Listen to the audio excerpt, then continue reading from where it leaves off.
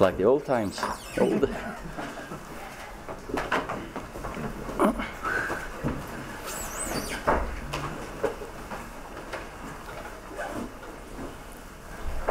Even you are drawing your breath, eh? Okay, the manager says take questions on the game. If you'd like to start. Is that possibly the most special win you've had so far since coming back and being the manner of it?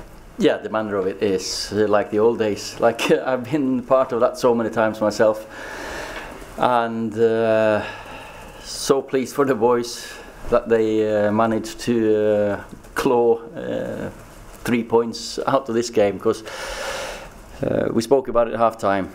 Just get some more urgency, get uh, ball in the box, uh, play more forward, and the Stretford end will suck that ball in for you.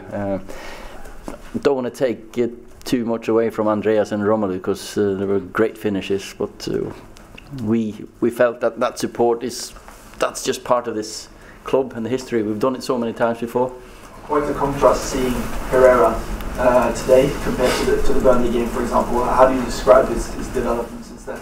so pleased for him, so happy for him because uh, he's gone through the academy. Uh, we know what he's capable of. He's got loads of energy uh, and drive, and we, maybe we found a better position for him than. Uh, as a number six, he's more of an eight or a ten uh, going forward. He's got high energy. He's got quality in his in his um, both passing, crossing, and shooting. So so pleased for him. Goal and an assist. That's a it's a nice uh, day for him to remember. His, your celebration of his goal was a bit more than what we're used to seeing. Was it what is it special in that sense? Of course, because uh, young kids at the start of their careers, when they get criticism, there's nothing better than seeing them uh, grabbing a chance when they get it.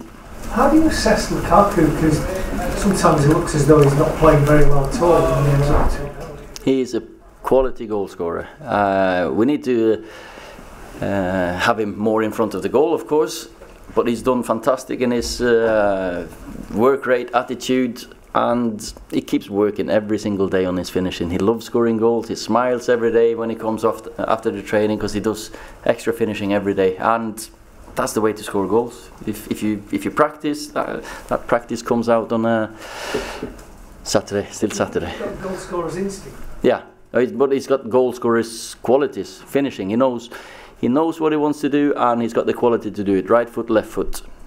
Ole, how's Alexis? Uh, what can you tell us? Oh, we don't know yet. We haven't uh, checked it uh, too much. I think it might be the ligaments. It was a bad knock on his knee, so uh, we'll do a scan tomorrow. Uh, hopefully, it won't be too bad, but it might. We don't know until we've done the scan.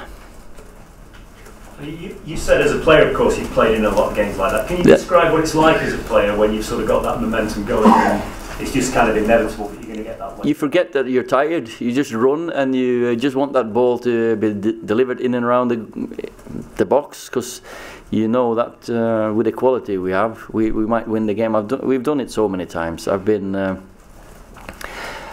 but as a manager, you that's not uh, the way you want to not endure, but enjoy the first 90 minutes. The, you want to be comfortable, and it looked like it. The first five minutes, I thought we should have been two up, but some great, uh, great uh, goalkeeping saves by the kids. Then the game stopped a bit, and they, uh, wow, th- them two strikes for them, uh, absolute quality. You can't, um, cannot knock the quality of them.